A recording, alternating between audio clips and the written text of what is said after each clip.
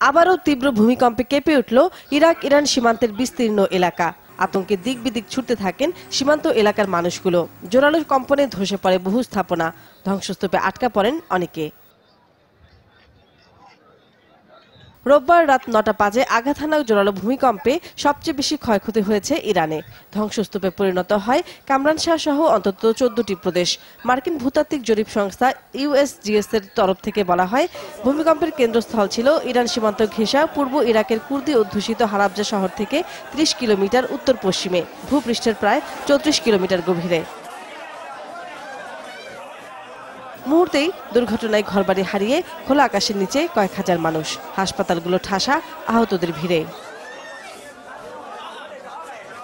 ভূমিকম্প দুর্গত এলাকাগুলোয় ত্রাণ ও উদ্ধার তৎপরতা জোরদারের নির্দেশ দিয়েছেন ইরানি প্রেসিডেন্ট হাসান রৌহানি। ভূমিধসে বাধাগ্রস্ত হচ্ছে উদ্ধার তৎপরতা। বিদ্যুৎ সংযোগ বিচ্ছিন্ন রয়েছে মেহরান ও ইলম শহরে। পরিস্থিতি মোকাবেলায় পাঠানো হয়েছে পঁয়ত্রিশটি উদ্ধারকারী দল। এদিকে বারো জনের মৃত্যুর খবর নিশ্চিত করেছে ইরাকি কর্তৃপক্ষ। ব্যাপক ক্ষয়ক্ষতি হয়েছে রাজধানী বাগদাদ ও উত্তরাঞ্চলে।